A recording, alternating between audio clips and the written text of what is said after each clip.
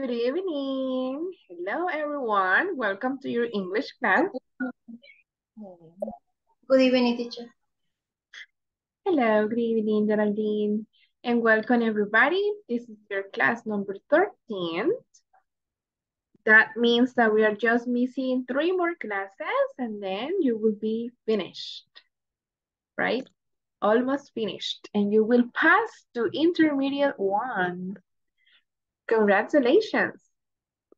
Okay, so let's get started with today's class. We are going to study one important topic. It's the modal would.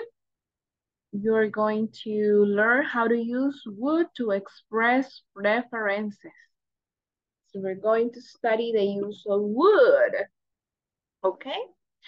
So in this session, the use of the modal verb would for requests will be taught.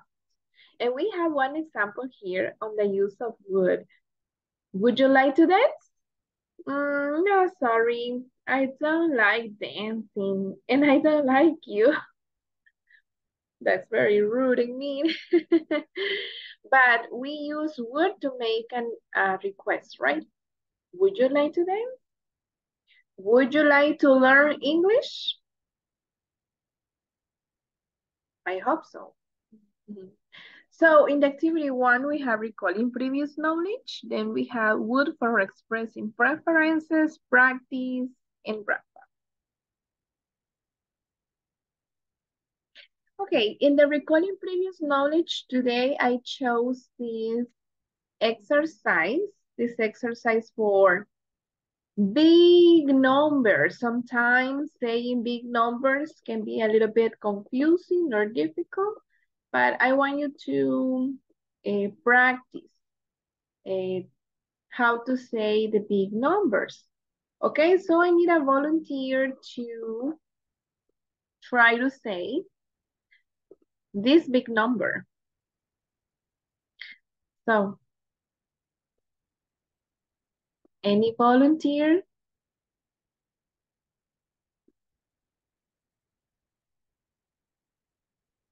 Any volunteer who would like to try to say this number?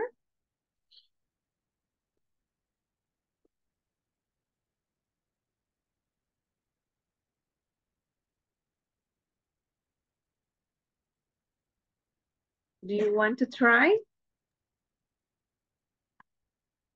How can you say this big number?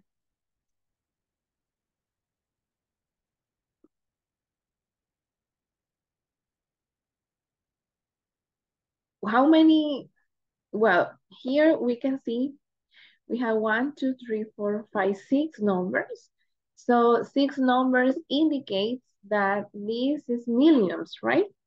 Quantity of millions. So we could say 100